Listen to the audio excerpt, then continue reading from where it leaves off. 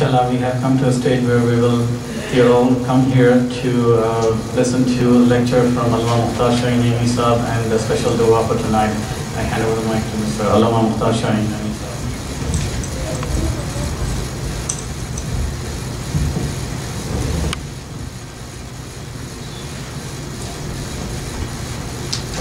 Saab.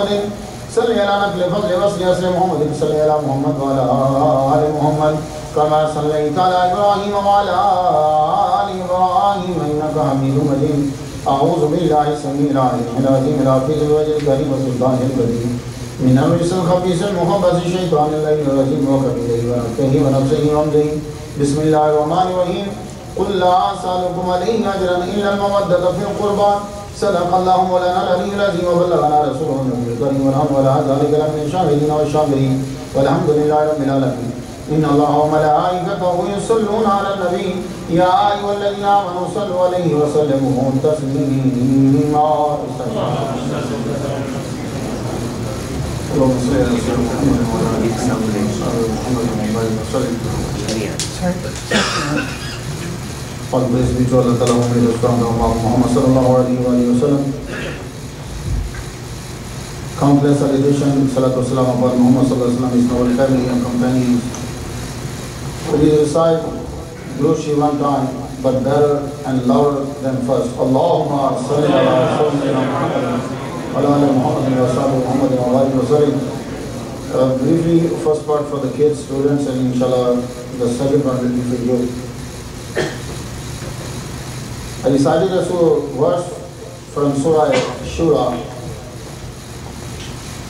আল্লাহ Muhammad সে two মোহাম্মদ সাল্লাহ আলী আলী ওসালাম কুল্লা আসালুকুম আলহি আজরাম fil ফিল Say, "Ya Muhammad, I don't ask of you for reward, fee, no fee, no wage for this invitation to the চুর no fee for preaching, for teaching, except the love for relatives.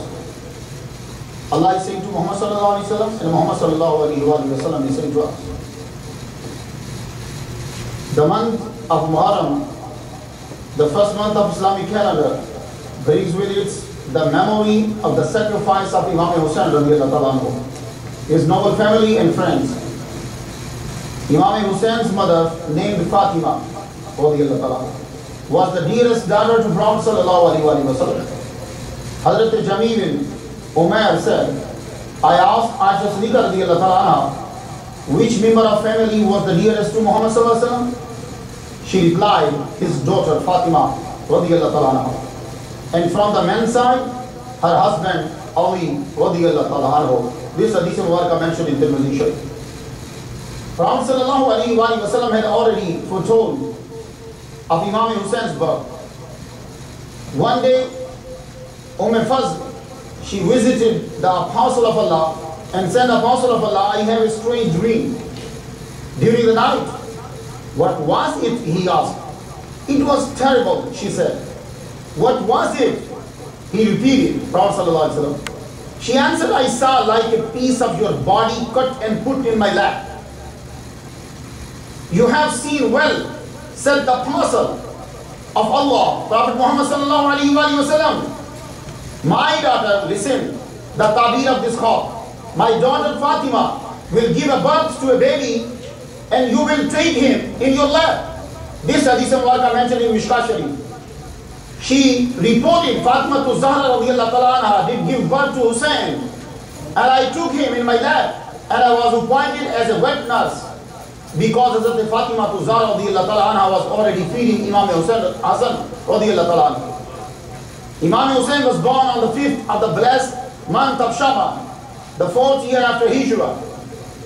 After Maghrib on Monday, the Messenger of Allah was given news of the birth of Imam Hussein Muhammad arrived at the house of his daughter, took the little baby in his arms, and said the azan and iqama in his ear.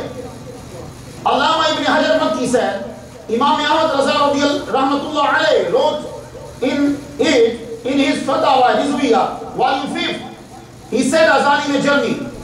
It means that Muhammad Mustafa sallallahu alayhi wa sallam said azan three times in his lifetime. One time in a journey for namaz, and one time for Imam Hassan, and one time for Imam Hussain He named him Hussein the Messenger of Allah said, I named Hassan Hussein, the names of the sons of the Aaron, Harun alayhi salam, who were Shabbar and Shabbi.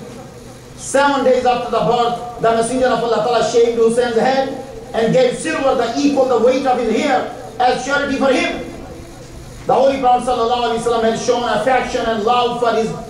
grandson as any grandfather should show. But there was something more positive and deep in this love. One day Prophet wasallam was delivering khutbah in Masjid Nabawi. Friday, Imam Hussein entered. He was about to read to. Prophet alaihi wasallam from the pulpit, Mimbar Sharif, put him in his lap and tell his companions that this is Hussein. Look at him and remember him. Everybody knows him, he is Hussein. Then why Muhammad is saying, look at him and remember him. It means something will happen in future. So be careful. It was just seven years after his life with his grandfather then the Holy Prophet passed away. And soon after, Imam Hussein's mother Hazrat Fatima also passed away. The next 25 years of his life in Medina was with his father Ali radiallahu and his brother Imam Hassan radiallahu He grew up to be beloved by the companions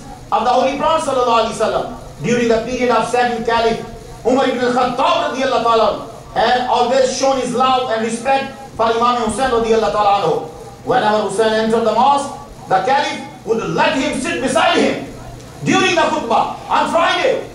One day he said, Allah planted here on my head because of your grandfather Muhammad Mustafa sallallahu alayhi wa sallam. Mean all respect and honor Allah gave us because of your grandfather Nana Muhammad Mustafa sallallahu alayhi wa sallam. One day when army came, came back to Medina, he gave mail, he, he, gave, he gave Mal Ghanimat to soldiers. He gave 500 darahim to his son and 1000 to Imam Hussein and 1000 to Imam Hassan. Thus Amir al-Mu'mineen son said, O leader of believers, Amir al-Mu'mineen, my father, they did not participate in war. Imam Hassan did not participate. Imam Hussein did not participate. They are not They not, did not participate in war. Then why did you give them more than me? Hazrat Umar said, My son, they are not like you. You are not like them. Your brother is not like his brother. Your father is not like his father. Your mother is not like his mother. Your grandfather is not like his grandfather because his grandfather is the Muhammad Mustafa sallallahu wasallam. Muhammad Mustafa sallallahu alaihi wasallam said, Al Hassan and Al Hussein are the chiefs of the youth of paradise, and Fatima is the chief of their women. बच्चे बोलते हमें समझ नहीं आती समझ में ऐसे भी नहीं आती उनको लेकिन उनके लिए थोड़ा सा बोल दिया कुछ तो इनको मालूम हो जाए समझ इनको तभी आती है जब आप बिठा के प्यार से ये समझाओगे तो इनके लिए पंद्रह मिनट हो गए अब आप खुद समाज फरमाइए कुछ बीवी भी आई हैं, आपने भी सुनना है। हम सबने आज अकीदत पेश कर दी है। हजूर सल्लल्लाहु अलैहि वसल्लम ने हमसे कुछ नहीं मांगा। ज़िंदगी में एक चीज़ मांगी थी, मेरे रिश्तेदारों से प्यार करना, उम्मत ने वो भी नहीं दी। चाहिए ये था कि सब कुछ दे देते। हुजूर ने पूरी ज़िंदगी में एक चीज़ मांगी, मुझे पैसे नहीं चाहिए, दौलत नहीं चाहिए। जो नबी सोने को हाथ लगाए, पहाड़ से भी भारी कर दे, उसको तुमसे क्या चाहिए? जो नबी इशारा कर दे दरख्त उगने लग जाए, खजूरें पकने लग जाए। वो नबी तुमसे क्या मांगेगा उसे क्या चाहिए? उन्होंने एक चीज़ मांगी थी और हमने सबने मिल के वो भी ली। वो क्या था? आपने कहा था, मेरे करीबी जो हैं, वो शादी के लिहाज से हो या खून के लिहाज से हो? उनकी रिस्पेक्ट करना, उनसे प्यार करना। हज़रत अब्बास से कहा चचा से एक दिन, चचा, रब की कसम है, जिसके दिल में तेरा प्यार नहीं होगा ना, उसके दिल में ईमान दाखिल नहीं हो सकता। अब सोचो, उस इमाम हुसैन का मकाम क्या होगा, जो मोहम्मद मुस्तफ़ा सल्लल्लाहु अलैहि वसल्लम के कंधों पर चढ़ के खेलते रहे। इमाम हुसैन रदी अल्लाह से बहुत प्यार करते थे। आपको पहले से ही पता चल गया था ये शहीद होगा। आप एक दिन जलवा फरमा है उम्र फजल इमाम हुसैन को लेकर आई रदी अल्लाह क्योंकि मैं अभी आपको बता चुका हूँ कि दूध वो पिलाती थी। हजूर सल्लल्लाहु अलैहि वसल्लम के यूथाई पे रखा तो आप मुँह पर एक करके रोने लगे। तो चच्ची कहती है, क्यों रो रहे हो? फरमाने लगे, अभी जबरील अलैहिस्सलाम की मट्टी ला के दे गए हैं। ये वो बला की मट्टी और फरमा गए हैं कि आपकी उम्मत आपके बेटे को कत्ल कर देगी और जब ये मट्टी सुर्ख हो जाए तो समझ लीजिएगा कि सर तन से जुदा हो गया। इससे पता ये चला कि सबको पता था। ये एक मंसूबा बना हुआ था। रब जानता था ये बच्चा शहीद होगा जिसकी अभी उम्र छह साल, सात महीने नहीं हुई। रब जानता था। मोहम्मद मुस्तफ़ा जानते थे जिस बच्चे की उम्र अभी छह सात छह साल, सात महीने नहीं हुई, ये बच्चा शहीद होगा। बीबी फातिमा जानती थी, मौला अली जानते थे, ये सब जानते थे। अब आप कहोगे जब सब जानते थे तो हजूर हाथ उठाते, या अल्लाह मेरा बच्चा बचा ले। बीबी फातिमा दुआ करती। कि या अल्लाह पाक मेरा बेटा हुसैन बच जाए मौला अली शेर खुदा दुआ करते। या अल्लाह पाक मेरा बेटा बच जाए किसी ने दुआ नहीं की। अब लोग क्या लगे, देखा, कोई भी बंदा किसी को बचा नहीं सकता। अल्लाह के बंदे, ये बात नहीं है। सोच सीधी रखो। आप सब यहाँ बैठे हो। आपके बच्चों के स्टॉट टेस्ट शुरू हो जाएँगे। जब आपके बच्चों के स्टॉट टेस्ट शुरू होंगे, आपका बच्चा रोएगा, पीटेगा। अम्मी वेरी हॉट बहुत सख्त है। स्टार्ट टेस्ट ज़रूरी भी है हार्ड भी बड़ा है। अब ये देना भी ज़रूरी है। तो क्या आप में से सारे बंदे बैठ जाते हैं तहजुद के वक्त? या अल्लाह मेरी बच्ची का स्टार्ट टेस्ट ना हो। कोई भी ऐसा आदमी है, बताओ। बल्कि आप दुआ करते हो कि स्टार्ट टेस्ट टाइम पे हो या अल्लाह बच्चा पास हो जाए। मोहम्मद मुस्तफ़ा जानते थे कि मेरा बेटा शहीद होगा। बीबी फातिमा जानती थी कि हुसैन शहीद होंगे। बोला अली जानते थे कि हुसैन की गर्दन कटेगी। सब जानते थे कि इमाम हुसैन शहीद कर दिए जाएँगे। तो मोहम्मद मुस्तफ़ा ने मुसल्ला बिछा के ये नहीं कहा कि इम्तिहान कैंसिल हो जाए। कहा, या अल्लाह, इम्तिहान तो हो, पर ऐसा हुसैन कामयाब हो कि कोई आज तक हुआ ना क्यों सुनो सुनो। इसलिए कि हजूर कह चुके थे कि मेरा ये बेटा, जिसकी उम्र अभी छह साल, सात महीने भी पूरी नहीं हुई, ये मेरा बेटा जल्दी नौजवानों का सरदार है। भाई, जब आपको कोई टाइटल मिलता है तो फिर प्रूफ भी करना पड़ता है। अगर आपको कमांडो का टाइटल मिल गया है तो वो कमांडो की जितनी प्रैक्टिस होती है, वो उसके अंदर होनी चाहिए। आप जानते हो कमांडो कितने घंटे उल्टा लटकता है दरख्त में? जानते हो कि कमांडो पानी के अंदर कितनी देर रहता है? आप कभी फौजी के पास बैठ के पूछिएगा कि कमांडो पे गवर्नमेंट का पैसा कितना लगा है? ये कमांडो जंगलों में सरवाइव कैसे करता है? कमांडो पानी के नीचे कितनी देर रहता है? ये उल्टा कितना लटकता है? इसको भूखा कितना रखा जाता है? इसको दुड़ाया कितना जाता है? तो कमांडो बनना आसान नहीं है। कमांडो बनने के लिए, कमांडर बनने के लिए, कैप्टन बनने के लिए तुम्हें बड़े मराहिल से गुजरना है। तो भाई जब तुम्हें एक आर्मी का सरदार बनना है एक आर्मी के छोटे से ग्रुप का सरदार बनना है। तो पानी में कितनी देर रहते हो? उल्टा कितनी देर लटकते हो? कितनी देर जागते हो? कम खाना खाते हो? कितने मराहिल से गुजरते हो? तो जिसने जनती नौजवानों का सरदार बनना है, अब वो कितने मराहिल से गुजरेगा? वरना आप में से कोई बंदा खड़ा होकर कह सकता मैं जनती नौजवानों का सरदार मेरे में क्या कमी है? मेरी उम्र सत्तर साल है। मैंने इतने पैसे खर्च किए हैं। मैंने इतनी नमाजें पढ़ी हैं। मैंने इतनी तबलीग की है। मैंने इतना सफ़र किया है। इमाम हुसैन तो मक्का से करबला गए हैं। मैं न जाने कहाँ कहाँ गया हूँ। नहीं, सरदार बनना है तो फिर तुझे सर कटाना पड़ेगा। सरदार बनना है तो अली असगर प्यासा जो है कुर्बान करना पड़ेगा। तुझे सरदार बनना है तो बीडिए बेपर्दा तेरी नज़रों के सामने हो जाएँगी। तो तुझे फिर भी इस्लाम के लिए अपने आप को बचाना नहीं है, बल्कि अपनी गर्दन कटवानी है। सरदार बनना आसान नहीं है। इसीलिए कन्वर महेंद्र सिंह बैदी के साथ एक शायर आया था, सिख था।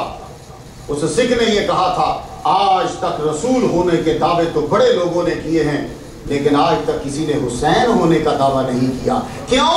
इसलिए कि जो भी हुसैन होने का दावा करेगा, उसको दावे की दलील के लिए अपनी गर्दन कटानी पड़ेगी। इमाम हुसैन रदी अल्लाह तला की परवरिश मोहम्मद मुस्तफ़ा। तो ये सब मंसूबा था। रब को भी पता सबको भी पता। तो भाई, बड़ी सीट पर बिठाने के लिए ज़रूरी है कि उसकी एबिलिटी आपके पास जब मैं आया था, हमारे बॉस इल्ताफ दूर के पास में आया कि टू थाउज़ेंड की बात कर रहा हूँ। आपको मालूम है कि अम्बेसी ने मुझे क्या कहा? उन्होंने कहा, ये जितनी अरबी की संदेह पहले पढ़। ये अरबी की सारी असनात तेरी डिग्रीज है पढ़ इनको। क्यों? तो मैंने कहा, तुम्हें की क्या ज़रूरत है? कहता, जो डिग्री पेश कर रहा है तो डिग्री पढ़ सकता है कि नहीं? इस काबिल है कि तू जाके डायस में तकलीफ़ करे? पहले प्रूफ तो कर। तो मुझे सिर्फ़ तकरीर करना थी तुम्हें। और कोई इतना मुश्किल नहीं है। मैंने बारह किताबें उसके सामने रखी मैं तू पहले पढ़। ये बारह किताबें मैंने लिखी है। ये मेरे सारे चीज़ें हैं। और पूरी डिग्री जितनी थी वो सब की अरबी पढ़ाई। और एक डिग्री के अंदर पाकिस्तान लिखा हुआ। वो मुझे से अंग्रेज़ आगे से कहता कहता है, अरबी में पे होती है। तब मैंने डिग्री का ध्यान दिया। मैं कहा, पाकिस्तानी हो, जालमो तुम ही खुद पढ़ लिया करो मैंने भी पहली दफ़ा पढ़ी। मैंने फिर उसको कहा, नहीं यार, इनका स्टाइल और तरखाना तो था उसने मैंने कहा, बाकी तो सही पढ़ी है ना, उसने लिखा ही ऐसे है तो ये उसको भी पता है कि पे जो है, वो अरबी में नहीं आएगी। इसलिए तुम पाकिस्तानी लिखते अरबी में। अल पाकिस्तान लिखते हो। तो मुझे सिर्फ़ तकरीर करना हो। मुझे इताब नूर के घर में आकर तकरीर करना थी। तो मैं वैसी में प्रूफ कर रहा हूँ कि मैं तकरीर कर सकता हूँ कि नहीं। मौलवी का प्रूफ देने के लिए पूरी डिग्री पड़ी तो इमाम हुसैन ने जनती नौजवानों का सरदार बनना है। तो जनतियों में कौन कौन है? सिर्फ़ तुम नहीं हो, वहाँ अब्दाल भी हैं, अगवास भी हैं, कुतब भी हैं, वली अल्लाह हैं, शहीद हैं, वहाँ सारे इमाम हैं, सब आइमा हैं बड़े बड़े नौजवान हैं, मूसा सलाम के उम्मती हैं, आदम सलाम के उम्मती हैं, हज़रत यूसुफ के उम्मती हैं, हज़रत यकूब के उम्मती हैं, एक जनती रही जो भी दुनिया में नौजवान जनती मरा है, उन सब के सरदार इमाम हुसैन है। तो फरूफ तो देना है ना तो फिर फरूफ शहजादे ने दिया फिर। अब अंदाज मुख्तलिफ़ है। कुछ लोग यूँ बयान करते हैं कैसे लगता है जैसे इमाम हुसैन भीख मांग रहे हैं। हमारे हुसैन ने भीख नहीं मांगी। भीख नहीं मांगे। उनका उस्ताद जो है, वो मोहम्मद मुस्तफ़ा सल्लल्लाहु अलैहि वसल्लम। याद रखिएगा, उस्ताद अगर बचपन में टाइट मिला हो तो बंदा बड़ी बुलंदी तक जाता है। अलेक्जेंडर का नाम तो सुना होगा आपने। इंडिया इंडिया तक गया था। इंडिया से था, पाकिस्तान, इंडिया एक होता था, इसलिए वो पाकिस्तान तक गया, फालिया। अगर पाकिस्तान के लोग हैं तो वो जानते हैं, फालिया उसके घोड़े के नाम उसके घोड़े के नाम पे वो शहर है। चेहलूम तक गया है अलेक्जेंडर। ये सिकंदर ये स्कंदर जो है, अलेक्जेंडर जिसे बोलते हो, ग्रेट, ये इतना ग्रेट कैसे बन गया छोटी सी उम्र में? इसका उस्ताद बड़ा टॉप का था तो मुझे अलेक्जेंडर पे बात नहीं करना। आपको सिर्फ़ इतना बताना है कि उस्ताद टॉप का हो तो अलेक्जेंडर जो है वो तुम्हारे इंडिया तक गया है। अगर वो बीमार ना होता, उसको मच्छर तंग ना करते और वो अपनी हरकतें एक दो ऐसी ना करता तो वो लेते गया था तुम्हें। वो अलेक्जेंडर तुम्हारे इंडिया तक पहुँचा। वो पाक पतन तक पहुँचा। क्यों? उसका उस्ताद टॉप का था। तो जिसका उस्ताद टॉप का हो वो तो दुनिया फतह करता हुआ, ईरान को फतह करता हुआ, यूनान को फतह करता हुआ, वो इंडिया तक पहुँच जाए, जिसका उस्ताद मोहम्मद मुस्तफ़ा हो। और फिर उस्ताद भी वक्त वक्त में होता है। सब गौर से सुनो, या मैंने मैंने मक्का मस्जिद में भी ये किया था मैं दोहराता रहता हूँ। मैं बच्चियों को भी याद करवाता हूँ, बच्चों को भी याद करवाता हूँ, ये बात बहुत अहम है हमारे यहाँ अक्सर औरतें कहती हैं, अभी बेटी छोटी है, अभी हमारी बच्ची छोटी है। कोई बच्चा छोटा नहीं होता।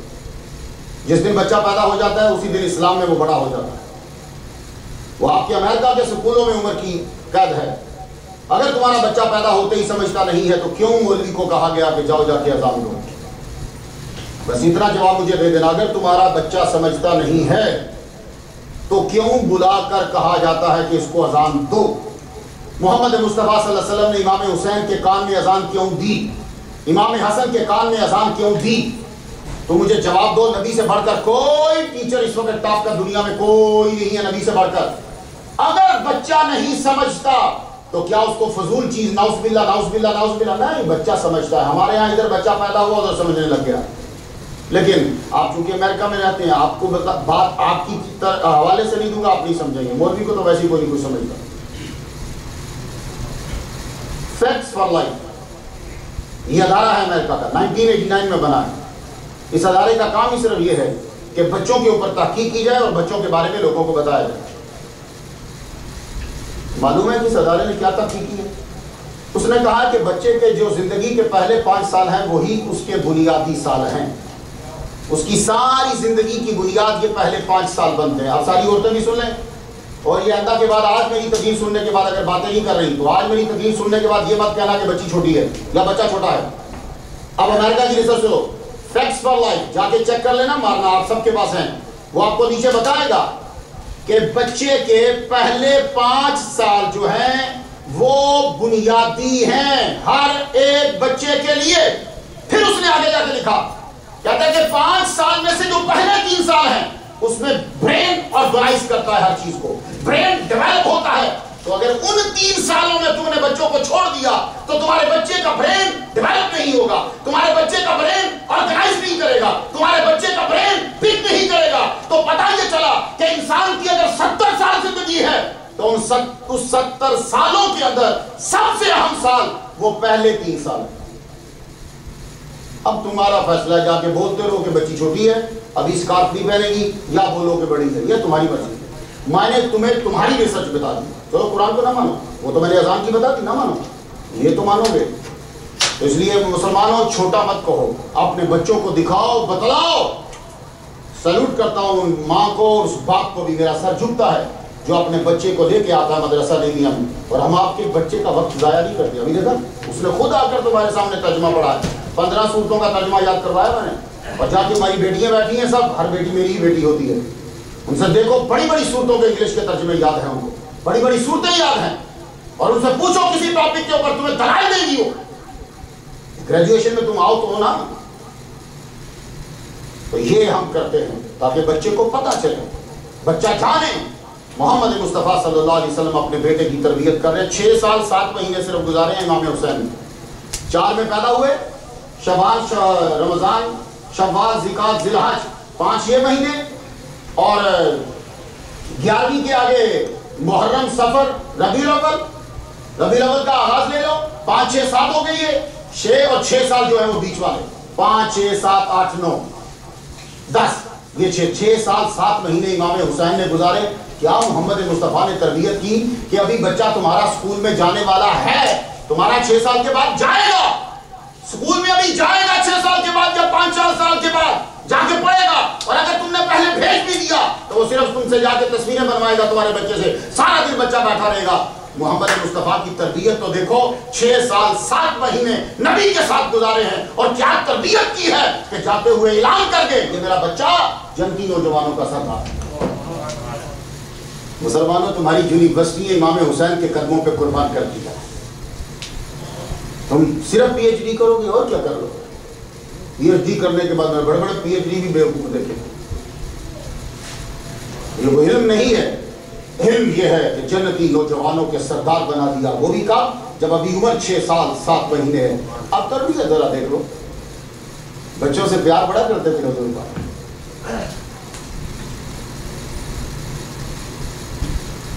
एक मरतबा, ईद आ गई। ईद के दिन बच्चों से आप भी प्यार करते क्या लगे, नाना, कपड़े नहीं है अपने पास। अम्मा से बात करो, बेटे। बीबी फातिमा तो ज़ारा रदी अल्लाह तला के पास बच्चे की अम्मा के पास। अम्मा कपड़े नहीं हैं तो बच्चों का दिल करता है नए कपड़े। माँ ने सर सजदे में बीबी फातिमा का और काम क्या था? ये औरतें कितनी इज्जतदार थी जब बीबी फातिमा को फॉलो करती बच्चे भी इनके आगे सर झुका के चलते थे। क्यों? उन्हें पता होता था, मेरी माँ रात को छाप चुका हमारे भी आज हम इतने बड़े हो गए फिर भी डर यही रहता है, माँ से कोई बदतमीजी ना हो जाए। डरते हुए यही कहते यार, ज़्यादा बात माँ से ना करवा, कम ही सलाम वालेकुम वालेकुम सलाम। डिस्कस करनी तो मुझसे तू डायरेक्ट कर। क्यों? मैं ऊँचा ना बोल रहा मैंने अपनी माँ से है माँ सॉरी अब ब्लड प्रेशर रहता है, ऐसा रहता कभी ऊँचा बोल के तो ये देख इससे माफ़ी मांग? हज़रत इमाम हसन अम्मी के साथ रोटी खाते थे, इमाम हुसैन के बड़े भाई। छह महीने बड़े बस। जब साथ बैठते, बीबी फातिमा बैठी होती, रोटी खाने लगते तो रोटी ना खाते, ऐसे हाथ जोड़ के बैठ जाते माँ को अपनी फ़िक्र नहीं होती। ये याद रखना, माँ को भूख भी लगी होगी तो रोटी कम होगी तो कह देगी, मुझे आज भूख नहीं है। हालाँकि उसे भूख लगी होती है। और अगर कभी सेब दो आ जाएँगे, बच्चे जो है वो एक एक सेब दोनों बेटों का आ गया, उसे मालूम है सेब कोई नहीं है, उसके अपने लिए नहीं बचा तो कह देगी, मैं सेब खाती नहीं, आजकल अच्छा नहीं लगता। माँ क्या शय होती है? बीबी फातिमा, अब माँ का ध्यान बच्चों की तरफ़ होता है, इसने खाई रोटी या नहीं खाई? और अब्बा का भी ध्यान बच्चों की तरफ़ होता मेरे अब्बा, तालिब हुसैन शाह रहमत जब कभी ज़्यादा वक्त उनके साथ नहीं गुजरा, मदरसों में रहा, लेकिन जब कभी उनके साथ होता था तो अपनी प्लेट में से उठाकर हमारी प्लेट में रख थे। साथ में किसी ने कहना जी, जनाब इधर से ले लेते नहीं इनको खाने हमारी उम्र उम्र इनकी उम्र है। तो ये माँ बाप बड़ी शह होते हैं कमाल की बच्चों, इनको भी से समझ लो। ये वैसे ही जवान हो जाते हैं। ये अभी मुझे एक बच्चा मिलने आया था, इंडिया से। वो उसका, सुनता था इंडिया। अमीन उसका नाम है। तो उसने मन्नत मानी, मेरा वीज़ा लग गया, मैं पढ़ने जाऊँगा तो नेमी साहब को मिलूँगा। वहाँ सुनता था मुझे। तो मिलने आया, मैं बंदों को मिलाया उसे। मिलने आया तो क्या लगा, मैं पढ़ लूँगा ना। तो मैंने कहा बेटे पढ़ लेगा तो, तो अपनी माँ बाप को याशी करवाना। खुद। अम्मी को मकान छत्तीसगढ़ में वो छत्तीसगढ़ का। मतलब छत्तीसगढ़ में माँ को मकान बना के देना यहाँ लाने का फ़ायदा नहीं है। जब तेरी माँ और बाप बाहर बैठेंगे तो देख उनकी ज़िंदगी कितनी बढ़ती है। कहता जब मैं आ रहा था तो मेरी माँ कहने लगी थी बेटे तू जाके यूनिवर्सिटी में जब दाखिल हो जाएगा दस साल हमारी उम्र वैसे ही बढ़ जाएगी। इतनी खुशी होती है बच्चे की तरक्की से बच्चों अभी से समझो इनको। बाद में क्या करेंगे? ठीक है, दुआएँ करें। उनके लिए करें साले लेकिन अभी से, मज़े लो। अब्बे को यार बनाया करो। इसकी ज़िंदगी वैसे ही बढ़ जाएगी। इसकी कमर की दर्द खत्म हो जाती है जब अब बेटा उसके जफ्फी डालता है। माँ वैसे ही खुश हो जाती है जब किचन में बेटी उसके साथ खड़ी हो। इन चीज़ों को छोड़ दिया मज़ा ही ज़िंदगी का किरकरा हो गया है। आप गए बेटे अम्मा तो मैं आपको बता रहा था, हज़रत इमाम हसन जब रोटी खाने लगते तो कभी बैठ जाते तो रोटी खा ही रहे वो कितना जाते कि अम्मा का साथ बैठना ना पड़े। एक दिन बीबी फातिमा ने पूछा, तुम मेरे साथ बैठ के रोटी क्यों नहीं खाते? अब जवाब सुनना तड़ जाओगे। इमाम हसन कहने लगे, बेदबी के डर से नहीं बैठता। पूछने लगी, बेदबी कैसे हो जाएगी? अर्ज़ करने लगे, अम्मा, सोचता हूँ ऐसा ना हो। तेरे लुकमा उठाने से पहले कहीं मैं लुकमा ना उठा लूँ। उससे पहले कहीं मैं उठा के मुँह में न डालू। इसलिए रोटी साथ नहीं खाता माँ, और माँ भी फिर बीबी फातिमा हो। लो जी, सजदे में गिर गई। घर में कपड़े तो हैं कोई नहीं। वो तो आजकल होते ना इतने इतने सूट। सर सजदे में रख दिया और अल्लाह से कहने लगी अल्लाह पाक, आज मेरे बच्चों ने कपड़े मांगे ईद है बच्चों के कपड़े ही नहीं। बच्चों को बाहर भेज दिए। और आपकी आदत है, आपने खास कमरा रखा हुआ। उसी में ही आपका विशाल भी हुआ। उसमें मुसल्ला था। इसलिए बीवियों, अपने घरों में खास कॉर्नर बना लो खास जगह। वहाँ सजदे किया करो।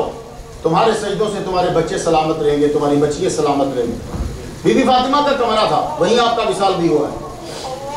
उस कमरे में जब है सर में रख के दुआ करने लगी है अल्लाह मेरे बच्चों को कपड़े चाहिए आज मेरी लाज रख ले दो सूट अता फरमा दे।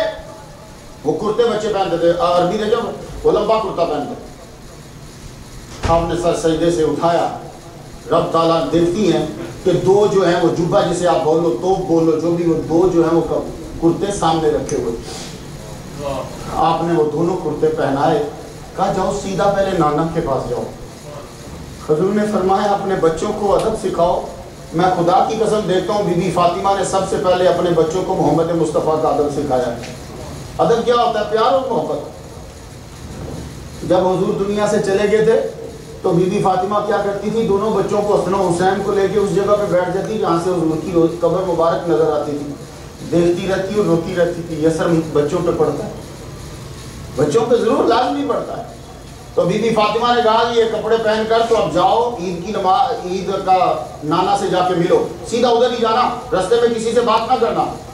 अब जो ही दोनों बच्चे गए नाना ने दूर से ही देखा तो नाना मुस्कुरा गए। किसी ने पूछा मुस्कुरा क्यों रहे हैं? तब मैं बच्चों के कपड़े देख के मुस्कुरा रहा हूँ। मैं जानता हूँ दुआ किसने की है मैं जानता हूँ भेजे किसने मैं जानता हूँ भेजे किसने और इशारों में समझा इमाम हुसैन रज़ी अल्लाह तला कहने लगे, नाना, आप बाहर चले। लेकिन नाना, सवारी अपनी टॉप की होनी चाहिए। किसी और की ऐसी सवारी ना हो। आप तो निकलते हो लेक्सिस में निकलते हो निशान में निकलते हो कैमरी में निकलते हो तो सब गाड़ियाँ तो नहीं होती थी ना? वो छोटा सा बच्चा जिसकी उम्र अभी छह साल भी पूरी नहीं है, वो बच्चा सवारी पे बैठना चाहता किसमें बिठा देंगे तुम हाँ? आ, नाने की जान। आज तेरी सवारी ऐसी बनाते हैं कि पूरी कायनात में ऐसी सवारी नहीं हो। मेरे कंधों पे सवार है। ईद वाले दिन हज़रत इमाम हुसैन को अपने कंधों पे सवार कर लिए। कंधों पे सवार करके क्या लगे, चल चलो। तो बच्चे आपको पता, बड़ी अजीब अजीब से क्वेश्चन कर देते अजीब से सवाल कर देते हो कभी अजीब सी डिमांड कर देते या आप जिसके बच्चे उनको तजर्बा होगा। तो इमाम हुसैन जब सवार हुए कंधों पे तो कहते हैं, नाना, सवारी तो आप बन गए। तो ये लजाम कौन सी होगी? बाकी तो सारे जो ऊँटों पे बैठे हैं, उनकी तो लजाम है, लगाम है। कहा, नाने की जान, ए हुसैन, मेरे बेटे, तू मेरी जुल्फों को पकड़ लेना, तेरी सवारी की लजाम बन जाएगी। अकबर। भाई, क्या ऐसा बच्चा होगा? अब मैं यहाँ जुमला उसका जो आप लोगों के लिए आप समझ हमारे हजूर का साया नहीं है। ये देखिए, मेरा साया, ये नज़र आ रहा आपको? जब लाइट इधर से पड़ती है ना तो क्रॉस नहीं करती। तो फिर साया पड़ता है। ये एक असूल है, आपने अगर साइंस मैथ पढ़ी सबने पढ़ी माशा ये देखिए, मैं लाइट के आगे खड़ा हूँ। तो ये इधर से जब लाइट पड़ी तो मेरे मुँह को क्रॉस ना कर सका। तो जब इसने मेरे मुँह को क्रॉस ना किया तो उसका साया इसने जाकर दीवार पे बना। लेकिन मैं ये साया खत्म कर सकता हूँ। वो कैसे? ये किसी मूवी वाले से पूछना जो वीडियो बनाता है। वो वीडियो शेडो खत्म करने का फन जानता है। वो क्या करता है? वो सेलिब्रिटी के ऐसी जगहों पर लाइट लगा देता है कि उसकी बॉडी का साया ज़मीन पर नहीं पड़ता। मैं पाकिस्तान में जब देता था रिकॉर्डिंग करवाता था, अभी भी मेरे लेक्चर मुहर्रम में नशर होते हैं, रमज़ान में भी नशर होते हैं। तो वो कहा करता था? मुझे अभी तक उसका मलक का जुमला याद है, जो डायरेक्टर था। कहता था, मेरा उस्ताद कहा करता था? अगर मुकर्र का शेडो साया उसका पड़े तो ये वीडियो बनाने वाले क्या नक्स है, कमी है। तो ऐसी फिटिंग करता था मज़ा मेरा साया। कहीं आए तो पता ये चला कि लाइट एक तरफ़ हो तो साया ज़रूर होगा। और अगर लाइट छह तरफ़ पे आ जाए तो फिर साया नहीं होगा। मोहम्मद मुस्तफ़ा का साया नहीं था। पता ये चला कि आपके ऊपर भी नूर था नीचे भी नूर था दाएँ भी नूर था बाएँ भी नूर था आगे भी नूर था पीछे भी नूर था मोहम्मद खुद भी नूर था।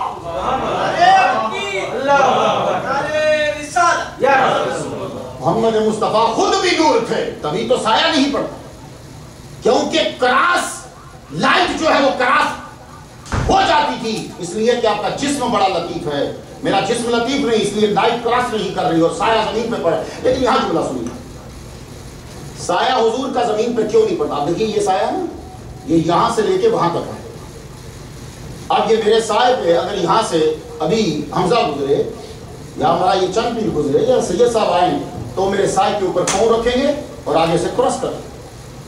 अभी ये शकील आए किसी काम के लिए, वो मेरे साय के ऊपर पाँव रख के यहाँ से निकल जाएगा। मेरा साया नीचे शेडो नीचे अल्लाह ने कहा मोहम्मद मुस्तफ़ा, हम आपका साया नहीं बनाएँगे। क्यों? साया ज़मीन पे पड़ेगा। ऐसा ना हो कि जो पीछे आ रहा हो, उसका पाँव ज़मीन तेरे साय के ऊपर आ रहा है। हम तेरा साया नहीं बना लेकिन आप यहाँ रुक जाओ, ये बात तो आम है। ये तुम्हें जुबानी याद है। यहाँ मेरा जुमला सुनो।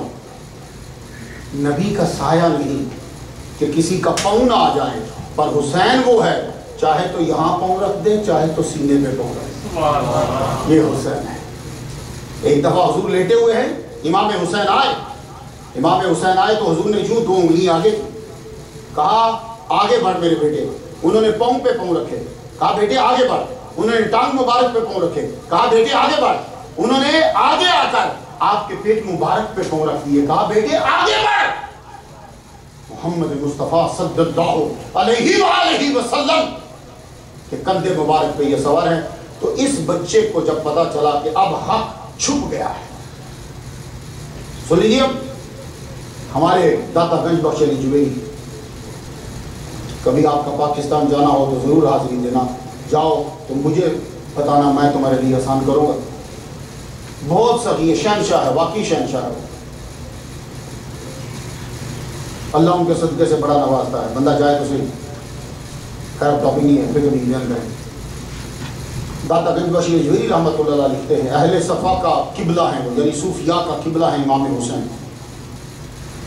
जब तक हक ज़ाहिर रहा, आप अपने रस्ते पर थे और जब हक छुप गया, फिर आपने तलवार निकाल दिया अब हक छुप गया इमाम हुसैन रज़ी अल्लाह हो मदीना से मक्का जाते हैं। मक्का से करबला जाते हैं। रास्ते में आपको कूफा जाना था क्योंकि आपको बारह हज़ार लेटर्स आए थे। बारह हज़ार बंदे थे। आपके चाहने वाले कोई बीच में से नहीं निकला। तो मैं यजीद से भी ज़्यादा मुजरम इन बारह हज़ार बंदों को ठहराता हूँ, जिनकी तादाद मुला बाकर मजलिसी ने जलाल में लिखी। और और भी किताबों में मिले। ये यजीद से भी ज़्यादा मुजरम है क्यों? वो तो हुकूमत में था। हुकूमतें अपने अपने तख्त को बचाती हैं। ये किधर गए? इनको ढूंढो। लानत करनी है तो इन पे करो। जिन्होंने इमाम हुसैन को कहा कि आप आ जाओ। हम ना तो इसके पीछे, गवर्नर के पीछे ना नमाज़ जुमा पढ़ते हैं, ना ईद पढ़ते हैं। और आप आ जाओ। हम यजीद की बात को तोड़ देंगे। आपके हाथ में बात करेंगे। अगर आप ना आए तो कल कयामत को अल्लाह से कहेंगे, हमने हुसैन को बुलाया था, हुसैन नहीं आए। लो, इनको पकड़ो। इन्हें कोई नहीं पकड़ता। इमाम हुसैन चले, पता चला ये बारह हज़ार ने बैत तोड़ दी है। कूफे के अंदर मुस्लिम बिन अकील आपके नुमाइंदे को शहीद कर दिया चार दिन तक लाश लटकी हुई, कोई बंदा बाहर नहीं निकला। इनको पकड़ो ना। ये जिन्होंने बुलाया, जो अपने नाम नीचे लिखते थे, इनको पकड़ो। हुकूमत को छोड़ो, हुकूमत तो तुम्हें पकड़े। ये किधर है लोग? कूफे के रस्ते में आपको खबर मिल चुकी है। आप करबला में पहुँचे। आज देख रहे हैं, एक दिन ज़रा बढ़ गया, इसलिए कि जुम्मा का दिन था, मैंने कहा कि ज़रा एक दिन बढ़ा लेते हैं। और सुबह मक्का मस्जिद में जलसा था, कल हमने ख़त्म पढ़ा है, आज भी है। इसी तरह चलता रहता है। इमाम हुसैन रज़ी अल्लाह तला हो आठ, सात, आठ, नौ, आप वहाँ पहुँच चुके हैं करबो बला में। अपने खैमों को भी आपने पीछे लगा मैं बीच में से सारा छोड़ गया मैंने आपको पिछले साल सुनाया। नहीं तो ये हमारे सही साहब के चैनल पर सुन लीजिए। इमाम हुसैन रदी अल्लाह जुमुआ का दिन आ गया। दस मुहर्रम है। सुबह के वक्त आपने पुराने मजीद आगे रखा। सवारी पे, सवार हुए घोड़े पे और आप लश्कर के सामने गए तमाम हजत के लिए। और आप सबको पहचानते थे भाई ने किस किस ने लेटर लिखा, खत लिखा? सारे खबीस वहाँ बैठे हुए। यजीदी के लश्कर। मैं इसलिए कह रहा हूँ कि यजीद से ज़्यादा इनको पकड़ो, जिन्होंने खत लिखे आपने फरमाया, तूने खत लिखा था? सिर नीचे। तूने लिखा था? सर नीचे। आपने एक एक का नाम लिया, फरमाया तुम लोगों के खतूत मेरे पास आए और आज तुम उस लश्कर में बैठे हुए और जी, आप बात क्यों नहीं कर लेते? बीच में से एक बोला, आप बात क्यों नहीं कर लेते? कैश बिन इसका नाम था। तुम बात किसके सामने कर रहा है? आपने फरमाया वो तेरा भाई मोहम्मद बिन अशस, वो तुसी का भाई है ना? तो उसी का भाई और मुझे कह रहा है कि बैत नहीं कर, क्यों नहीं कर लेते? हम आपको अमान दे देंगे तो उसी का भाई है। जिसने मुस्लिम बिन अकील को अमान दी थी और उसके बाद जाके फसील पे चढ़ा के कत्ल कर दिया था तो उसी का भाई है ना? चुप! बात किसके सामने कर रहा है? सब शर्मिंदा। खामोशी से सब झुका के बैठे हैं। आपने फिर खुतबा दिया। फरमाया, सुन लो जो नहीं जानता वो मुझे जान ले। जो जानता है मैं उसको फिर से सुना दूँ। इस वक्त पूरी दुनिया में नबी का नवासा मेरे सिवा कोई नहीं है। मेरा बाप अली है, मेरा भाई हसन है, मेरी माँ फातिमा है, मेरे नाना मोहम्मद मुस्तफ़ा है। मैं खुद नहीं आया। तुम लोगों ने मुझे खतूत भेजे। फुला फुला का नाम लेके आपने बताया। तुमने मुझे बुलाया, मैं यहाँ चला आया। अब तुम मेरा साथ नहीं दे रहे। मैं वापस नहीं जाऊँगा। उन्होंने कहा जी तैयार हो जाए जंग के लिए। मैं रेडी आप थोड़ा सा यूँ ही रुख मोड़ा अपने लेक्चर के बाद। लेक्चर तभी है मैंने आपको खुलासा सुना दिया। एक आदमी को आते हुए देखा। हजूर रुकिए आपने दूरी से पहचान लिया ये वही आदमी था, जनरल, जो आपको गिरफ़्तार करने आया था, लेकिन आपके पीछे नमाज़ पढ़ रहा था। नमाज़ पढ़ने की कितनी बरकत होती है। आया था इमाम हुसैन को गिरफ़्तार करने के लिए 2000 बंदे लेकर, मगर इसने नमाज़ इमाम हुसैन के पीछे पड़ी। और आज उस नमाज़ का असर है कि यजीद का लश्कर छोड़कर इमाम हुसैन की तरफ़ आ रहे हैं। करीब आए, आपने फरमाया, हुर, तेरी माँ ने तेरा नाम हुर सही रखा। तू आज़ाद है। हजूर, मैं तोबा करता हूँ और आपके लश्कर में शामिल होता हूँ। आपने फरमाया हाँ मेरे सीने से लग ये हुर यजीदियों के लश्कर से उठे आया आपने सीने से लगाया। तो मान लगे शामिल तो एक और आ रहा है। कहा हुर ये कौन है? कहा, हजूर, ये मेरा बेटा है। तो मान लगे, हमने तुझे सीने से लगाया, तू इसे सीने से लगा। फैज आगे यूँ चलता रहेगा बेटे को सीने से लगा। तीसरा फर्द एक और आते हुए देखा, आपने पूछा, ये कौन है? कहा, हजूर, ये हमारा खातिम है, गुलाम है। तो मान लगे, अपने बेटे से बोलो कि वो इसको सीने से लगाए। वापिस आ गए। यही आदमी वहाँ से वापिस आए। बाकी किसी की किस्मत में था ही सुबह से लेके जुम्मा की नमाज़ तक, आज आपने जुम्मा पढ़ा है। जुमे की नमाज़ से कुछ पहले तक जितने बाहर से या दूसरे मिले थे सब शहीद हो गए। अब आपके अपने रिश्तेदार बारी बारी जाने लगे। हज़रत अब्बास इजाज़त नहीं मिली। हज़रत कासिम इजाज़त दे दी गई। हज़रत अली अकबर इजाज़त दे दी गई। ओनो मोहम्मद इजाज़त दे दी। मैं सारों का वाक्य छोड़ता जा रहा हूँ। ओनो मोहम्मद इजाज़त दे दी गई। सब शहीद हो गए। अली अस्कर को यूँ अपने हाथों में लेकर गए। उस जालिम हुरमल ने तीर चलाया था। वो तीर इस बच्चे के गले में यूँ क्रॉस करता हुआ आगे निकल गया। आपके हाथ खून से भर गए। वैसे ही उठा के लाके खेमे में, खेमे के सामने रेत को यूँ साइड पे करके अली अस्कर को यूँ कबर के सुपुर्द कर दी पता है कबर किसके साथ बने? अंदर क्यों नहीं लेके गए? छह माह का बच्चा है। माँ का क्या हाल होगा? तलवार से लेकर यू रेत को हटाते हैं। अली अकबर का अनवर करीब है। अली असगर के जस्ते अनवर को ज़मीन के सबूत करने के लिए तलवार से यूँ हटाते जा रहे हैं और आँखों से आँसू बहाते जा रहे हैं। पूछो उस बाप से, जिसका अठारह साल का जवान बेटा नज़रों के सामने चला जाए, और फिर छह माह का बच्चा भी चला जाए नज़रों के सामने। अब वो उसकी कबर खोद रहा है, हाथ से नहीं। तलवार से यूँ रेत को हटा रहा है। हटाते हुए जब यूँ आराम से नीचे रख दिया तो आतिफ गैबी से यकीनन आवाज़ आई होगी। कब्रें हाथों से बनाना तो बड़ा आसान है, लेकिन छह माह के बच्चे के लिए तलवार की नोक से ज़मीन को करेद कर रखना बड़ा ही मुश्किल है। आँखों से आँसू जारी है आपके बच्चे को। किया घोड़े पे बैठे थे, घोड़ा भी कमाल का ऐसे वफादार जानवर कम ही मिलते हैं। घोड़े पे बैठे, पीछे से आवाज़ आती है कि आपका बेटा बुला रहा है। एक ही बेटा बचा है। ये सारे सैयद उसे एक बेटे की औलाद है।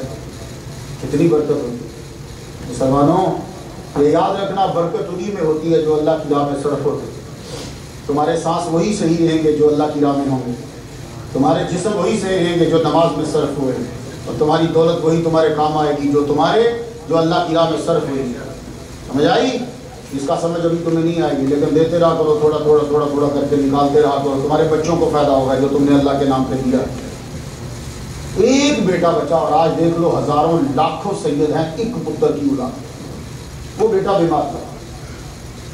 पीछे आई, आप बेटा बुला रहा आपको, आप गए खेमे में। बेटा लेटा हुआ था, बेटा उठना चाहा।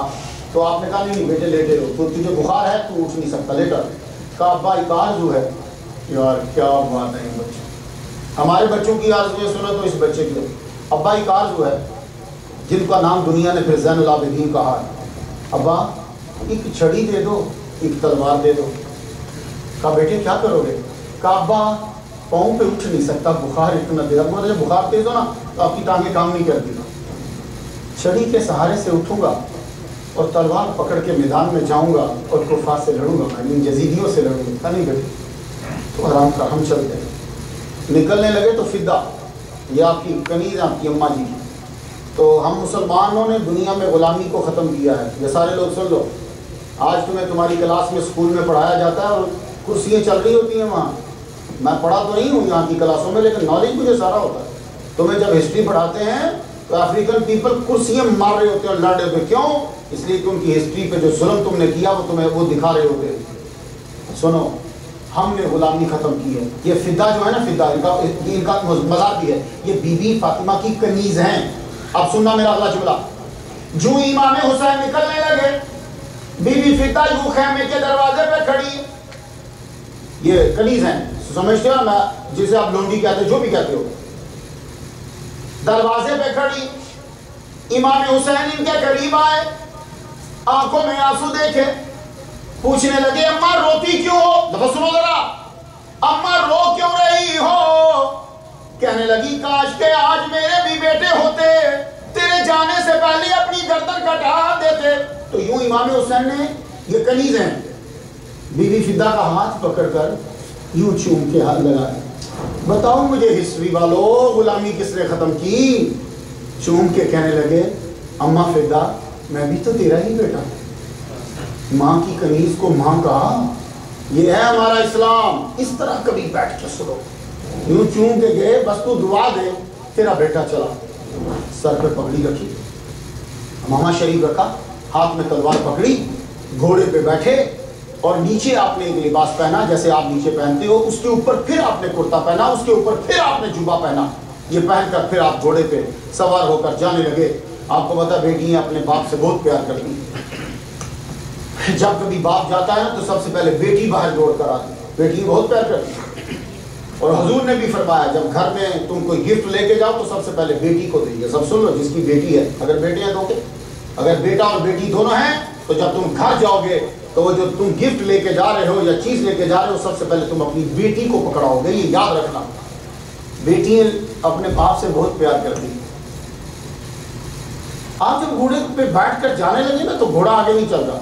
ये जो पेट होते हैं ना, घोड़े जहीन होते ये बड़े वफादार होते हैं। घोड़ा हो गया, ये जितने आप पालते हो।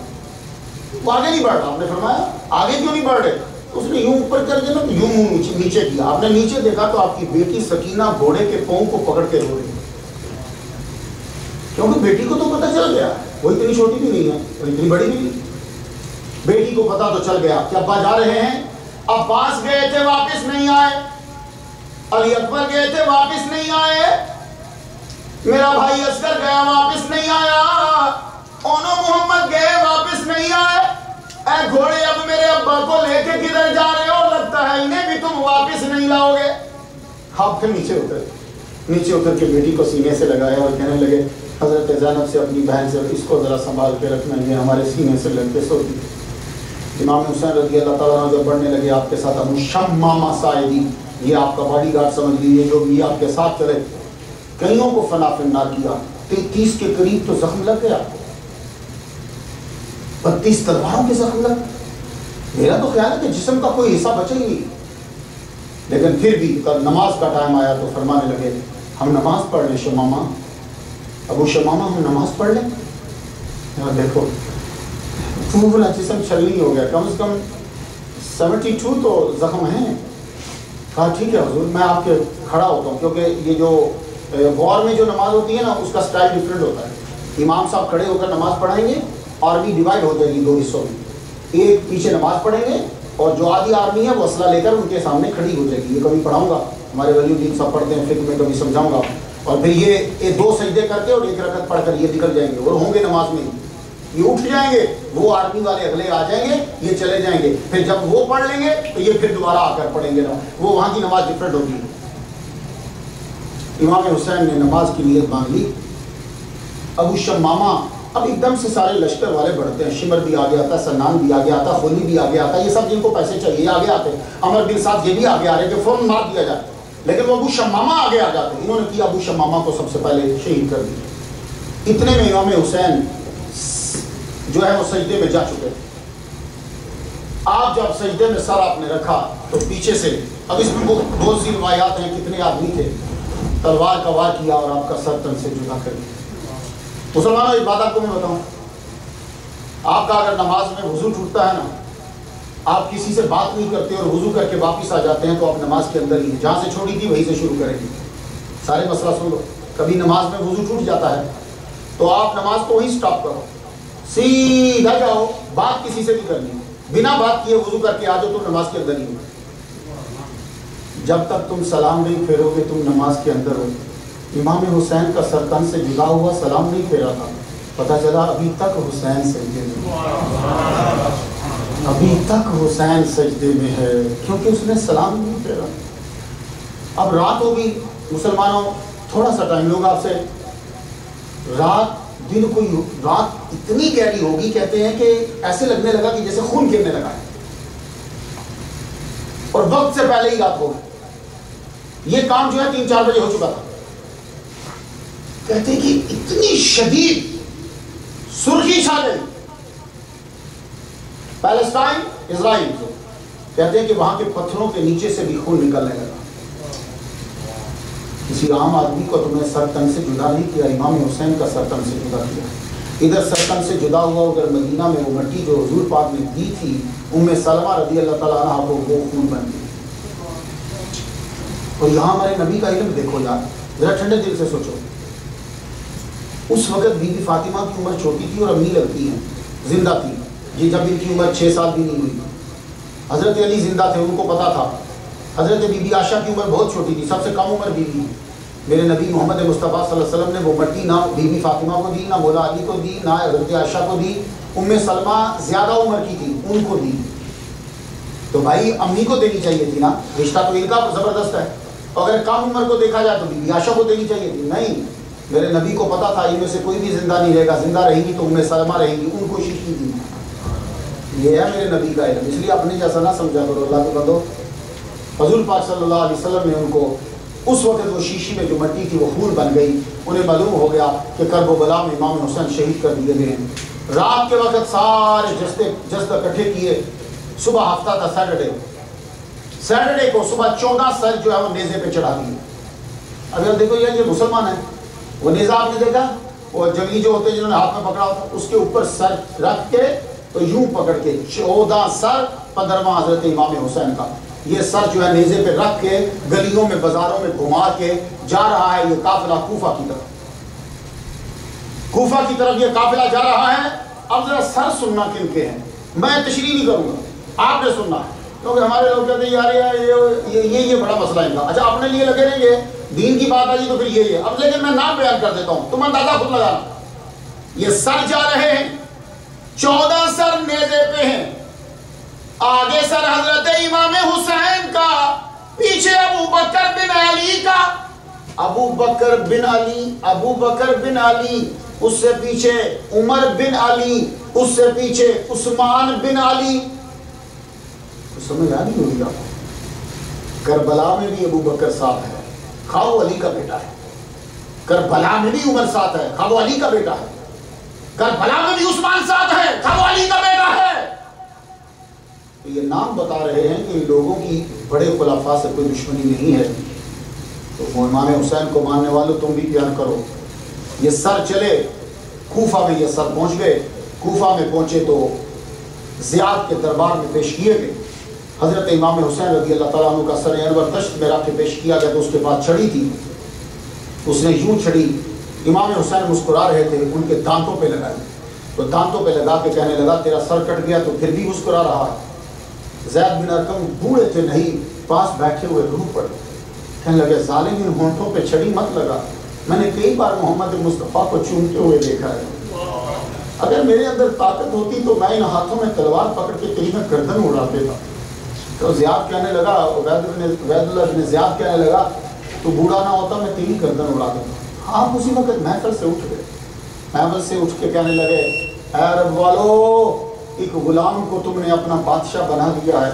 अब ये तुम्हारे बड़ों की गर्दनें काट कर गुलामों को तुम्हारा आका बना देगा। उठ के चले गए। इन्होंने क्या किया? मुझे उस पर ज़्यादा कुछ नहीं गुस्सा। मुझे गुस्सा इन कूफे वालों पर है। इन्होंने बुलाया था इमाम हुसैन को। अब कूफे के बाज़ार से गुजर रहे हैं। बीबी जैनब के सर पे दुबट्टा नहीं है। जालिमों ने दुबट्टा ले लिया। बीबी जैनब के सर पे दुबट्टा नहीं। हालाँकि कूफा के अंदर सबसे पहला लड़कियों का मदरसा बनाने वाली बीबी जैनब है। मुसलमानों, तुमने कभी मस्जिद में मौलवी सुना ही नहीं है?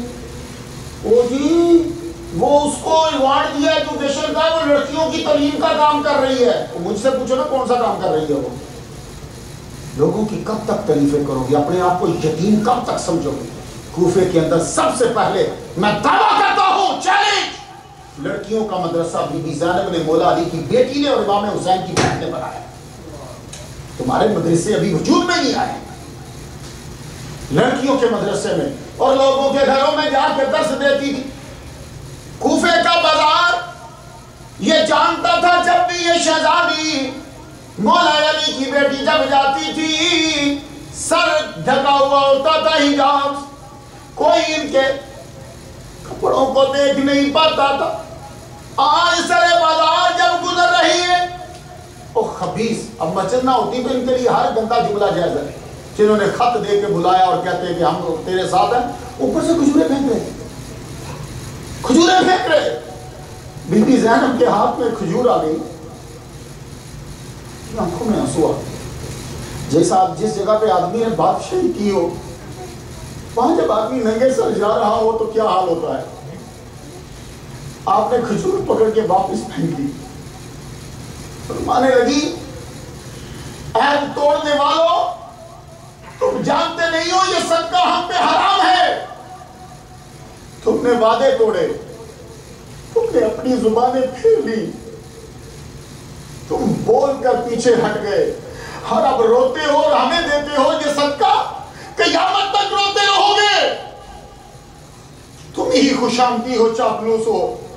हुसैन को बुला के फिर तुम परे चले गए गवर्नर ने क्या किया कि पूरा काफिला मस्जिद के हुजरे में रख दिया। अब तुम कहोगे निमी साहब, मस्जिद के हुजरे में रख दिया ये तो बड़ी अच्छी जगह नहीं, बड़ा खबीस है वो। मस्जिद के हुजरे का मतलब समझते हो? गेट के ऊपर जो भी आदमी आए, वो आके पूछे, क्या हुआ? क्योंकि तो गेट के साथ होता था वो हुजरा। पाँच टाइम आदमी आए और पाँच टाइम आके तंग करे, क्या हुआ? ये कौन है? क्या हुआ? ये कौन है? क्या हुआ? ये कौन है? मैं मस्जिद कूफा में बैठी और उधर खत भेज दिया कि आप हम क्या करें? एक महीना पाँच दिन कूफे के बाजारों में सरे अनवर नेजी की नोक पे रहा। नबी कुछ नहीं मांगा था। मैं क्या दिया? एक माह पाँच दिन। आज 48 घंटे के बाद मैं रिसर्च कर रहा था नेट पे, कितनी देर के बाद लाश खराब होती है? तो कनाडा के रिसर्चर बता रहे थे 48 घंटे के बाद लाश खराब हो जाती है। एक महीना पाँच दिन तक कूफे में सख्त गर्मी में सर मेजे के ऊपर चढ़ा रहा और जब ये एक माह पाँच दिन के बाद दमश्क में पहुँचा तो फिर भी हुसैन का चेहरा मुस्कुरा रहा। इसलिए मुसलमानों, नमाजें शुरू कर दो। तुम मरोगे? मैंने देखे हैं लोग। मैंने देखे हैं। शदीद गर्मी में बगैर बर्फ़ के, लेकिन वो नमाजी थे। उनके चेहरे का नूर खत्म नहीं हुआ। तहजुद पढ़ने वालों के नूर खत्म नहीं होते। तुम बर्फों के मोहताज नहीं हो। तुम्हारे पास एक ज़बरदस्त तारीख है और मिसालें एक माह पाँच दिन तक सिर्फ़ कूफे में रहा, इराक में रहा। उसके बाद ये फिर चला। 900 मील का सफ़र करवाया। लो। तुम तुम जहाज़ में पानी भी पीते हो तुम्हें बेहतरीन सीट मिलती है, तुम्हें तीन बार खाना मिलता है, लेकिन जब घर आते हो तो बेगम से बोलते मैं थका हुआ हूँ। और तुम्हारा चेहरा उतरा होता है। जितने लोग पाकिस्तान से आते हैं, इनका जटला भी नहीं खुलता। हारिशा खुल जाती जटला भी नहीं खुलता। क्यों? थका है ये। हालाँकि तुम्हारे सर का और जिस्म का आपस में ताल्लुक है। इमाम हुसैन के सर का जिस्म से ताल्लुक नहीं है। 900 मील का सफ़र करवाया, हालाँकि 600 मील बनता है। 600 मील बनता है 600 से 900 करवाया। दिमश्क में ये पहुँचा, सीरिया। दरबार सज गया, अब यजीद को इतला मिली। सारे काफले वाले वहाँ पहुँचे। हज़रत बीबी जैनब ये कोने में लग के बैठ गई यजीद खुशियाँ मना रहा है, सब खुशियाँ मना रहे अपनी तो हिम्मत नहीं यार उस खुतबे को बयान करना है। की नज़र पड़ी, कहने लगा, ये लड़का कौन है? कहने लगे, ये अली है। कहा तो अली को कत्ल नहीं है शहीद नहीं हो गया वो कहा वो अली अकबर थे ही अली, अली औसत है। उस वक्त उनका नाम जैनुल आबिदीन नहीं था। ये अली औसत है। देखो जख्म पे नमक छिड़कने वाली बात है। कहता मेरे बेटे से लड़ोगे अब जिसका अब्बा दुनिया से चला गया हो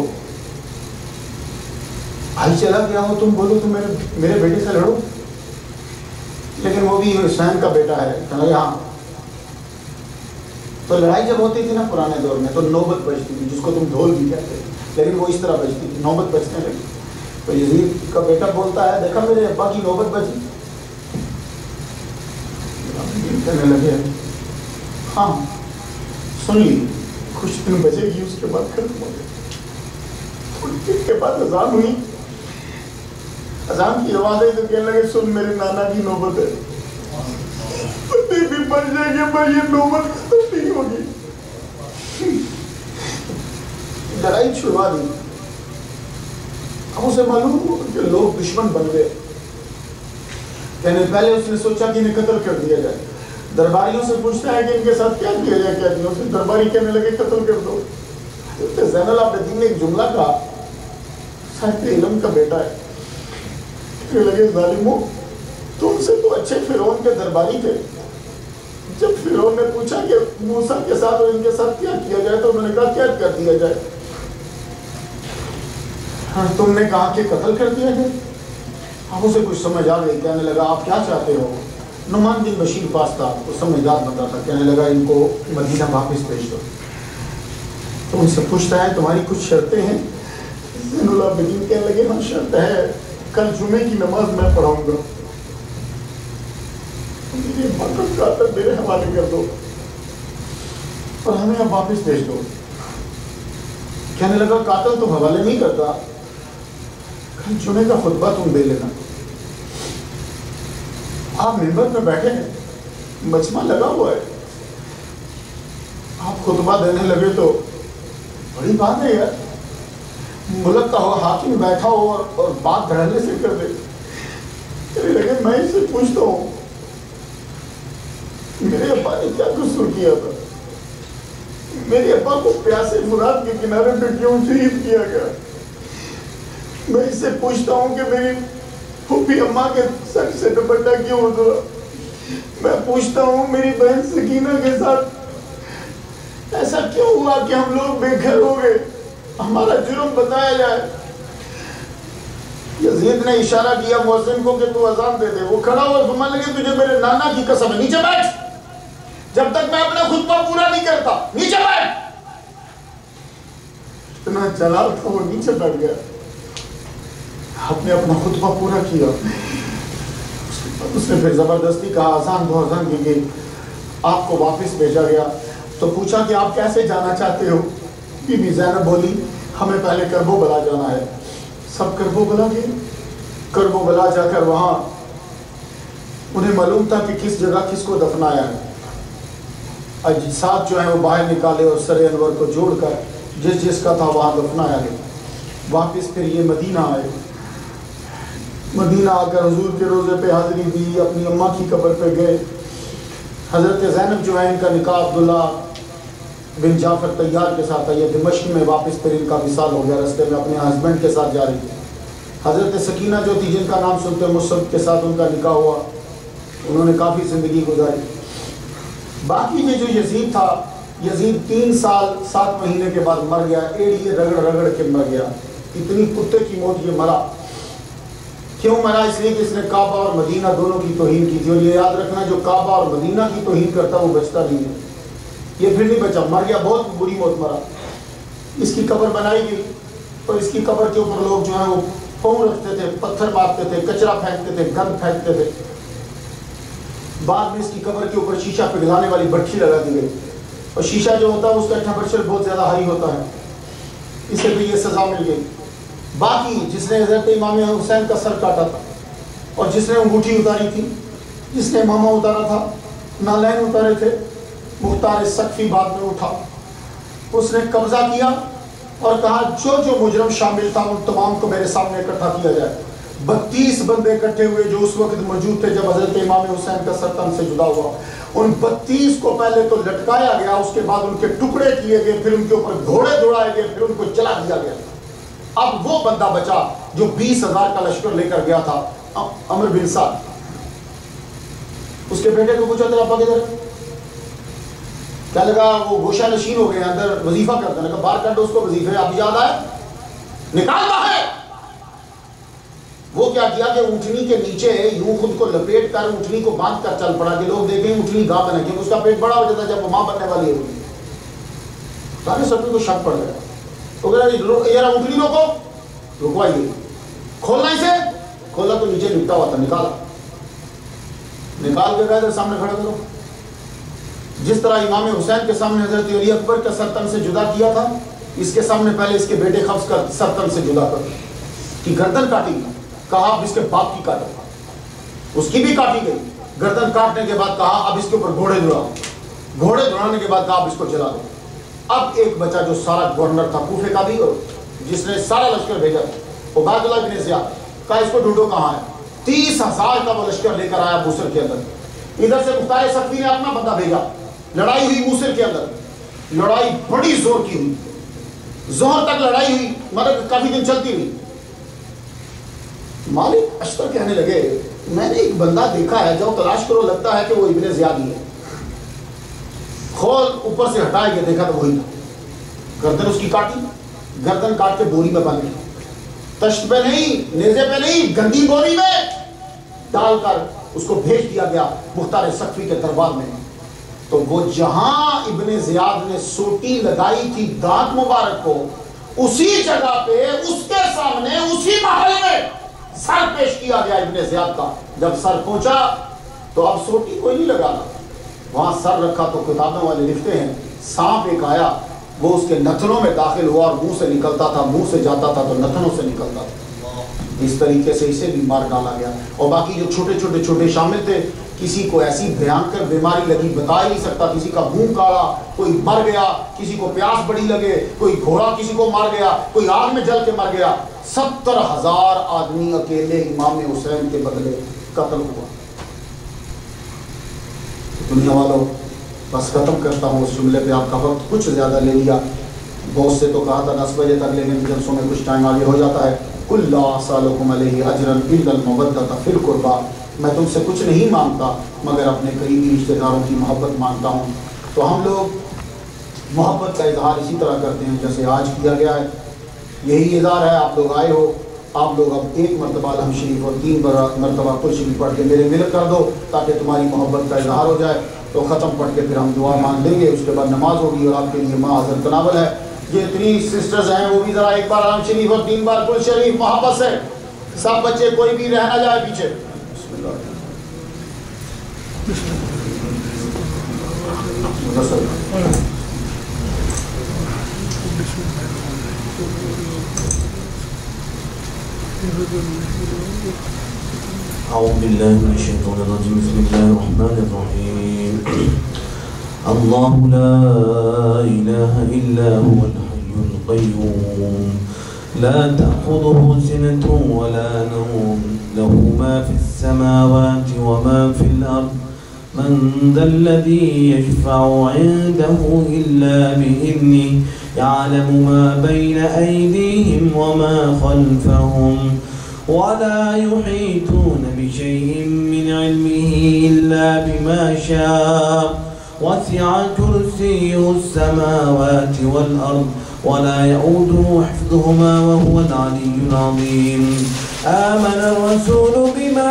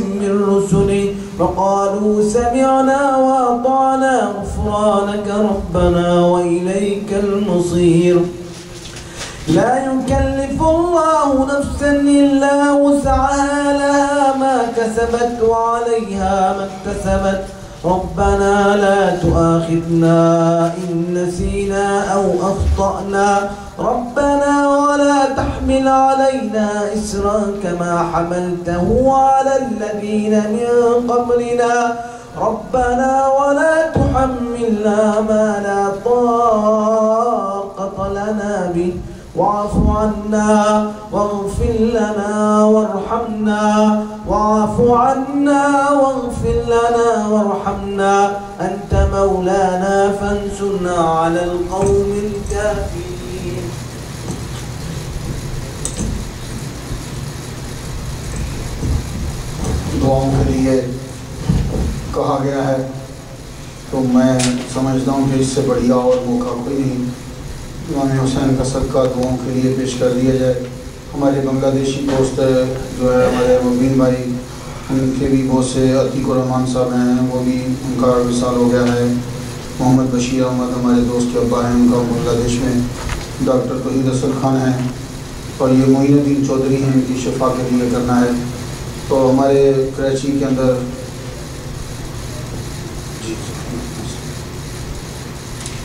ज़ेबा और नसरीन नूरानी की सेहत के लिए दुआ करना है।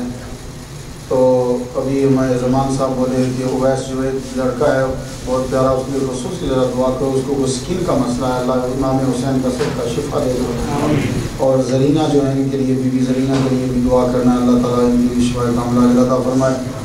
हमारे जो हैं, नवीद भाई माशाल्लाह इन्होंने अभी 800 डॉलर की सिर्फ़ वैक्यूम मशीन मस्जिद के लिए डोनेट की है ये बड़ी स्पेशल मशीन होती है। तो बाकी मशीनें तो सफ़ाई कर ही नहीं पाती। तो ये जो सवाब इनके अब्बा अब्दुलरशीद बादशाह मरहूम के लिए है और मुमताज़ मरहूमा इनकी अम्मा जान है और इनकी सास साबा काजी शमीम जो उनके लिए भी दुआ जो है वो करना है। मेरे सास और ससुर के लिए भी। तो ये सब दुआएँ और भी लोगों ने कही हुई हैं तो सब जमा हो गई। अब आप ज़रा हाथ बुलंद कीजिए। आमीन। अबवाई मुहम्मदिन व आलि मुहम्मदिन व असहाबि मुहम्मदिन व बारिक व सल्लिम या रब्बी लकल हम्दु कमा यंबगी लिजलाली वजहिका व अज़ीम सुल्तानिका या अरहमर राहिमीन हमारी आज की हाज़िरी अपनी बारगाह में कबूल फरमा या अल्लाह पाक इन लोगों ने जो पढ़ा है अभी तक जो पहले पढ़ा या अल्लाह ताला हाज़िर शिया तिलावत जो हुई जो मदरसा ने मियाँ के बच्चों ने जो तिलावत की इन लोगों ने जो आँसू बहाए हैं या अल्लाह ताला जो हमारे जमान चौधरी जमान साहब कलाम जो पढ़ा है, अल्लाह ताला नेकी के जितने काम हुए सब तेरी बारगाह में पेश करते हैं, कबूल फरमा। परवरदिगार आलम जो तो सवाब अदा करेगा, वो सवाब हम हजूर की बारगाह में पेश करते हैं, कबूल फरमा। और मुरसलीन की बारगाह में पेश करते हैं, कबूल फरमा। हजूर के साहब और आप गिरवा को सवाब देते हैं, कबूल फरमा। खसूस बिल खसूस हज़रत इमाम हुसैन रदी अल्लाह ताला की को सवाब देते हैं, कबूल फरमा। हज़रत बीबी फातिमा को ज़ारा दी अल्लाह तआला को सलाम देते हैं कबूल फरमा या अल्लाह पाक मौला अली शेर खुदा को सलाम देते हैं कबूल फरमा हज़रत इमाम हसन की को सलाम देते हैं कबूल फरमा या अल्लाह तआला जितनी भी आल औलाद है इमाम हुसैन की और करबला में जो उनके साथ शहीद हुए सब की को सलाम देते हैं कबूल फरमा परवरदिगार आलम दुनिया से जितने जा चुके हैं सब की रवा को सवाब देते हैं, कबूल फरमा। या अल्लाह ताला मेरे मजमे में जितने लोग मौजूद हैं, जितनों के मैंने नाम ले दिए अल्लाह ताला जो दुनिया से उनका रिश्तेदार चला गया उसकी रोह को सवाब देते हैं, कबूल फरमा। आए परवरदिगार आलम, जो बीमार है, उनको शिफा कामला अजरा अता फरमा दे। हमारे सैयद अख्तर साहब, इनकी सोजा मोहतरमा को शिफा कामला अजरा अता फरमा। या अल्लाह पाक, इन लोगों में कोई भी वली कामिल है, या अल्लाह ताला उसके सदके से सबकी दुआएँ अपनी बारगाह में कबूल फरमा ले। ये अपने बच्चों को लेकर आते हैं।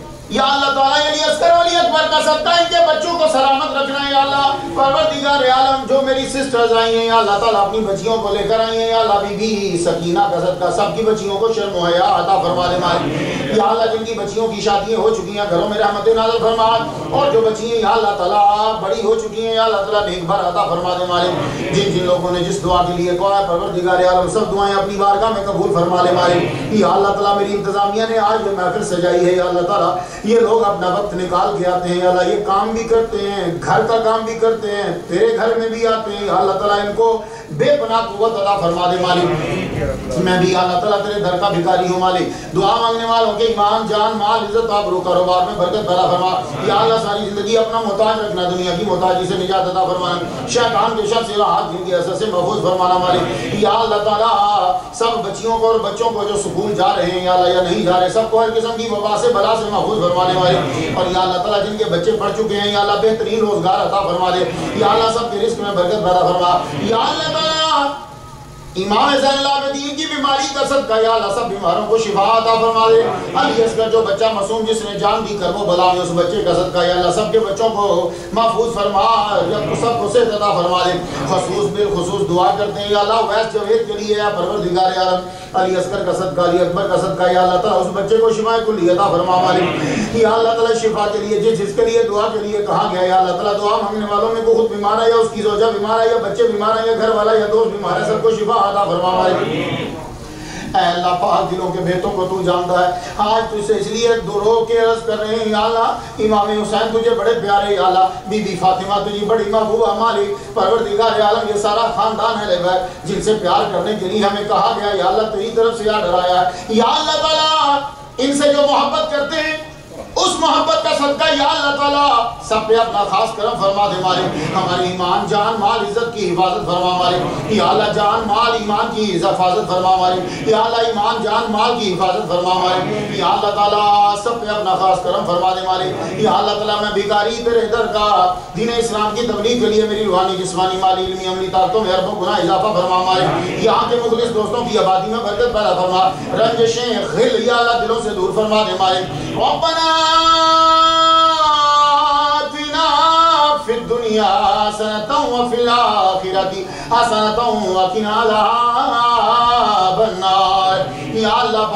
जब वक्त आए तो हाजमा ईमान पे फरमाना। और जब जा रहे हो तो या अल्लाह ये कलिमा अता फरमाना, ला इलाहा खुसूसी दुआ कीजिए, उसके लिए जो आज लंगर लाया है। अल्लाह पाक, जो आज खाना लाया है, जिसमें अदायगी की, जो तकसीम करेंगे अल्लाह सबके रिस्क में बरकत या अल्लाह इतनी दौलत दे, मिलियनर, बिलियन बना लोगों को अल्लाह इस तरह का खाना रोज़ाना लाखों लोगों को तेरे नाम पे खिला सके की